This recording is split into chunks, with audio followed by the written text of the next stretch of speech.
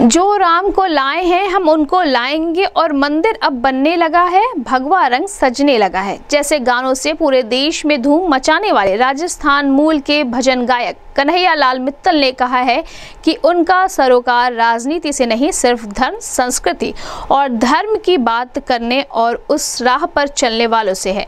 UP के विधानसभा चुनाव में मेरा गाना, जो राम को लाए हैं, भी इसी उद्देश्य में समाहित था। कन्हैया लाल मित्तल सोमवार को डुमरियागंज के एक कार्यक्रम में रवाना होने से पूर्व गोरखपुर में थे। गोरखपुर प्रवास के दौरान उन्होंने गोरखनाथ मंदिर में गुरु गोरखनाथ का दर्शन कर विधि विधान से पूजन किया इस अवसर पर।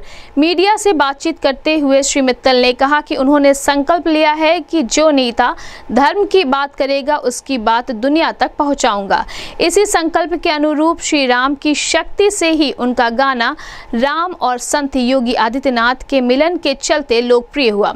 गाना, हम तो राजनीति से इतर गाते फिरते हैं। ना फूल के बंदे हैं, न हाथ के बंदे हैं। जो राम के बंदे हैं, हम उनके बंदे हैं।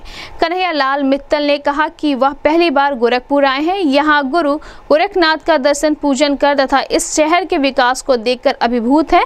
मुख्यमंत्री योगी आदित्यनाथ की सराहना करते हुए उन्होंने कहा कि एक निस्वार्थ संत से श्रेष्ठ नेतृत्वकर्ता कोई और नहीं हो सकता।